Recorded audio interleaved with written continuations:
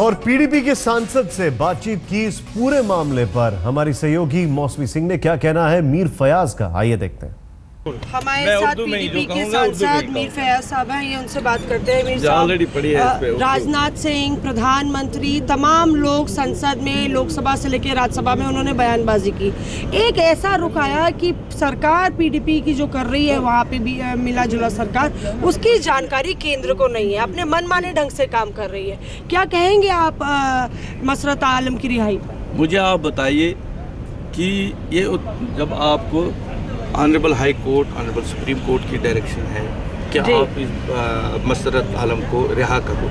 ये कौन सा बड़ा मुद्दा है? ये कांग्रेस वाले बनाते हैं। जब इनकी और हमारी सरकार थी 2002 में तब हमने इनसे बड़े बड़े लीडर वहाँ पे रिहा किए। जिसमें गिलानी साहब था शबीर शाह साहब थे यासिर मलिक साहब थे। जब इनकी गवर्नमेंट थी यहाँ पे यूपीए की गवर्नमेंट जब थी कांग्रेस की तो उस वक्त यही यासिन मलिक साहब जब पाकिस्तान गए पाकिस्तान में इसने हाफिज सईद के साथ वहाँ बैठा वहाँ से आया इन्होंने उसको गिरफ़्तार नहीं किया। आज जब सुप्रीम कोर्ट के ऑर्डर के तहत उसको रिलीज़ किया गया तो इनको मुद्दा मिला।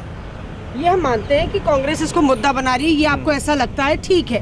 पर यहाँ पे प्रधानमंत्री भी कह रहे हैं कि मुझे भी आक्रोश है पूरे देश को आक्रोश है। आपको कहीं ना कहीं लगता है कि ओवर ब्लो किया जा रहा है पूरा मामला ऐसा कोई आक्रोश की ज़रूरत जम्मू कश्मीर में दो बार आपने देखा होगा चुनाव अच्छी तरह से हुए ये जो आज जिनको आतंकवादी कहते हैं या जिनको कहते हैं कि इनके छोड़ने से अमन को खतरा है आप इन कांग्रेस वालों से पूछिए ना 87 में तो ये तो इनकी देन है।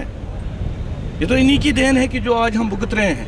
इनकी वजह से जो इन्होंने आज अगर वहाँ पे इलेक्शन हुआ पहली बार जम्मू कश्मीर के लोगों ने एक तो वाजपेयी साहब के टाइम में और आज 60 70 परसेंट लोग निकले। वहाँ का यूथ निकला वोट डालने के लिए। तो अब उनको अब उनको भी मौका दीजिए एक बार। हाँ।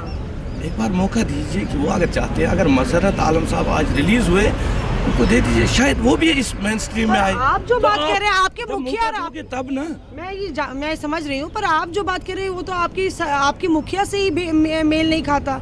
आपके मुखिया कहते हैं कि ये तो हुरियत और अ, पाकिस्तान की देन है कि लोग बाहर निकल के आए चुनाव अच्छी तरह से हुए। शायद उनके बयान को जो मुफ्ती साहब जो कहते हैं वो बिल्कुल सही है। मुफ्ती साहब ये हम जानते हैं जम्मू कश्मीर के लोग जानते हैं। जब वहाँ पे हालात ख़राब थे तब वहाँ पे क्या मतलब बीतती थी? चाहे उसमें पाकिस्तान का हाथ था मिलिटेंट का हाथ था या किसी और का। लोग नहीं निकलते थे। अब आज लोग निकले तो आपको भी उसमें साथ देना चाहिए यहाँ के मतलब देश को साथ देना चाहिए कि आज अगर जम्मू कश्मीर के लोग अमन चाहते हैं वो चाहते हैं कि हम देश के साथ जुट के डेवलपमेंट करें। तो आप सही ठहरा रहे हैं ना मसरत आलम की रिहाई को आप सही ठहरा रहे हैं। देखो जहाँ तक कोर्ट का ऑनरेबल कोर्ट का डिसीज़न है, हम सही ठहरा रहे हैं।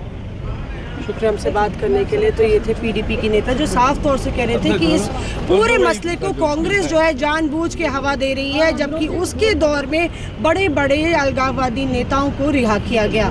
कैमरा पर्सन राजीव श्रीवास्तव के साथ मौसमी सिंह, दिल्ली, आज तक।